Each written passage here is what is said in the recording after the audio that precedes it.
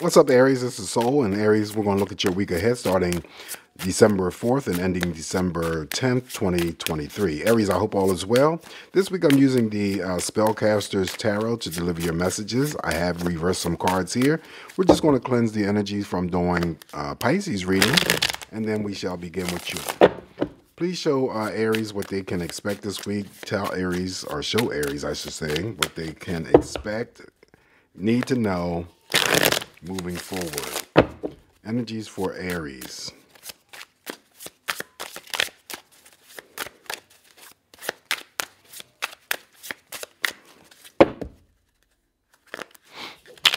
Oops.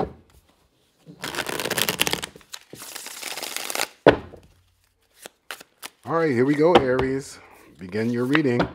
We have the Eight of Swords, okay? Eight of Swords is feeling like you're trapped and um, blindfolded. Of course, you're not. So this could be, uh, if it does express itself, some situation that Aries may be dealing with this week, and you need to put it under control because you don't want this energy to linger around. So this is always representing some sort of fears, concerns, or worry. Oftentimes, I read the Eight of Swords as a breaking communication with family members, friends, romantic partners. All right. So if it's not something that is, um, you know, that you can finger point, or if it's actual, then it may be for some Aries that you're you're building up some sort of mental energy about a specific situation that has yet to occur. And nine times out of ten, whatever it is that you're building up in your mental mind um, may not even take place. So be very very careful here with this Eight of Swords energy. All right. But if it is real, decrease it as much as you possibly can because you don't want it to increase to the dinosaurs because that's even worse. Then we have the uh, High Priestess. The High Priestess is here to help you and trusting the process in terms of your own intuition. You're here to uh, be guided. This card here represents uh, secrets and uh, crushes being shielded from you, or you're shielding those things from others. Opposites attract. Okay, but the most important thing that you need to know is trust your intuition. Then we have the Eight of Wands. Eight of Wands is simply good communication. So whatever it is that you need to express this week to others will be well received. And whatever is coming your way in the form of communication, Aries, will be well received by you. Even number of wands, so it's effective to and fro.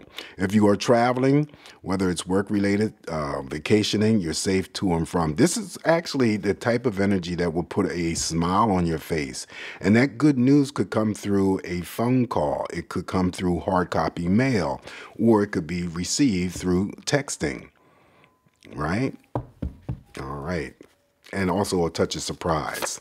Then we have the Knight of Pentacles, and maybe uh, for some of you, hearing about a specific job that you may have applied for, or it could be in the form of promotion. So this is a job offer, contract offer, of course.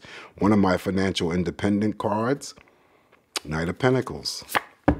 Five of Swords here is the card of, um, could be internal or external conflict. You got to sort something out here, Aries. It also could be seen as the reduction of the Swords. It does mirror over here to the Swords. So maybe you, if you experience this Swords energy here, you're working on it. You'll have to be careful, though, however, of uh, mental challenges coming in from others. They like to play head games with you, Aries. And also, you may have something that someone is envious of. Then we have the strength card. So no matter what is going on in terms of the five of swords or the eight of swords, you will overcome any obstacles or challenges here. Feeling courageous, powerful, dynamic. Your part of this energy here represents Leo specifically. This card represents intensity, passion, definitely sexual energy and sexual expression. So you have strength on your side. Then we have the Six of Wands. This is victory and success. This is also like the Eight of Wands, traveling, safe to and from. All right. This is a, a driving force of positive energy that's either coming towards you or it's, yeah, you're either going towards this positive energy or the positive energy is coming towards you. I don't know why I got that twisted. Queen of Wands is even more positive energy here. This is a card of strong attraction. Definitely um, focused on something or someone, normally going after whatever it is that you're focused on. Intense, passionate, sexual energy again sexual expression. There could be a greater ex, you know expression of creativity for uh, those artistic areas out there. Then we have the three of cups. There's the yeah look at this. The three of cups is a form of celebrations, happiness, birthday celebrations, anniversaries. Of course, spending quality time with significant others. Underneath that Knight of Pentacles, maybe the news comes through that you get the job or the promotion or the contract or something going on related to money and you're happy about it. So you're celebrating with others. So this could be family members, friends, romantic partners. It definitely could be co-workers after work during happy hour. Final card here for you, Aries. And uh, we finish off with the Four of Cups, okay? So the Four of Cups is celebration. Well, it is a form of celebrations, but it's, um, you know, usually with family members, romantic partners, and friends, socializing. Um, some of you may be uh, eating out to, at diners or restaurants this week, and it's an even number of cups. What you give Aries is what you're going to get back. In your shadow energy, here's another money card, the Queen of Pentacles. Okay, so this is the promotion. This is the uh, pay raises. This is the boss in the workplace environment, the creditors. This could be um, someone who comes along and wants to form a business partnership with Aries, or it could be somebody who has already formed their own business and they're doing very well in the line of you know work or business that they have chosen.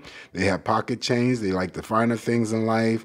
Um, someone that you can depend on, rely on. Very good with money. So they're good money handlers, never coming across as selfish or stingy ever.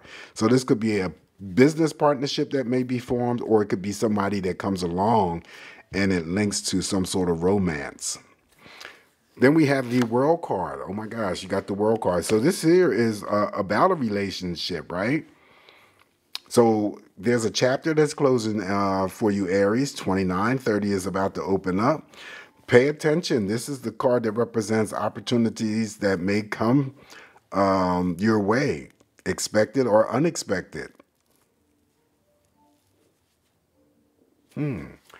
Last card here is the uh, King of Swords, and the King of Swords is, of uh, course, in the reverse position. This usually indicates uh, inactivity, decision making. So there's something that may be going on here for uh, some Aries. And remember, this is just in your uh, shadow, but it is part of your energies. So it may express itself uh, in some fashion. So there's some sort of major decision or inaction that you are hesitant about. Maybe it's because um, you haven't communicated or got the information that you need. In spite of the Eight of Wands presence as good communication, maybe there's something still lacking here that you need to, um, you know, ascertain and, and it's just not coming to you. And then you're uncertain or, you know, indecisive about moving forward, whatever that is. But the most important thing is that you have the High Priestess here to help you to trust whatever decisions or actions that you're about to take uh, hence the lack of uh, information or, you know, communication. All right, so this is what I have for you this week, Aries. Not too bad, just me interpreting the cards. It looks pretty good energetically. So please give this video a thumbs up. I'd appreciate that. You guys have a safe, great week ahead. Keep smiling for me, and I will talk to you soon. Bye.